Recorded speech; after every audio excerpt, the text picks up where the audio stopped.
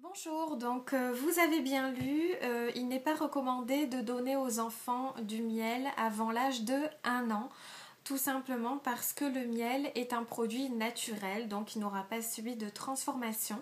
Il risque de contenir euh, les spores d'une bactérie euh, qui est la Clostridium botulinum, qui peut donc entraîner euh, un botulisme infantile, notamment chez les enfants qui n'ont pas de flore intestinale suffisamment mature, donc tous les enfants de moins de 1 an.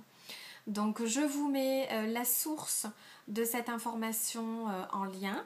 Euh, donc ça vient quand même de l'Institut de veille sanitaire, hein. donc c'est une information vraiment nationale.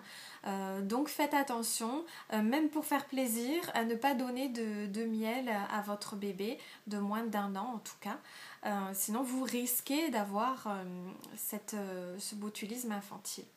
Et je vous retrouve la semaine prochaine euh, pour un nouveau thème. Bonne semaine, au revoir.